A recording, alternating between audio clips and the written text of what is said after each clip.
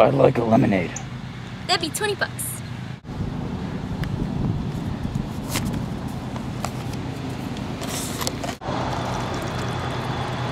Here you go. Hi, I'd like lemonade.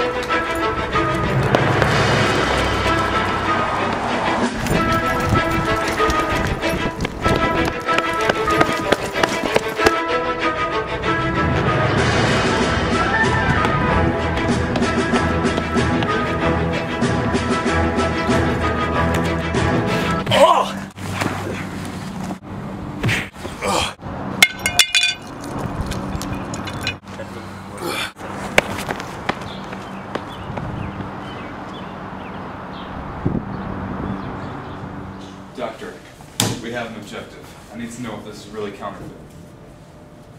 Well, um, it's obviously counterfeit, sir. I mean, Well, how can you tell? well, if the lines appear broken, fuzzy, or floppy, it's obviously a counterfeit dollar bill. Every dollar bill has a Roman numeral 5 when you hold it up to the light.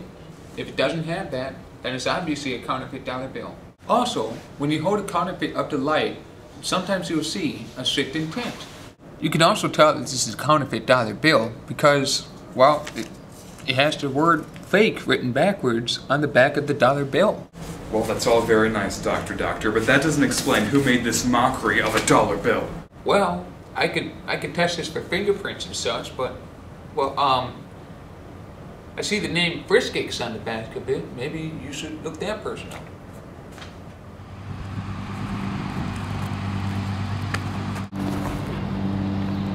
What do you want from me now? Don't try running again. I know about the lung cancer. I know it was you who's been making the counterfeit dollar bills. Prove it!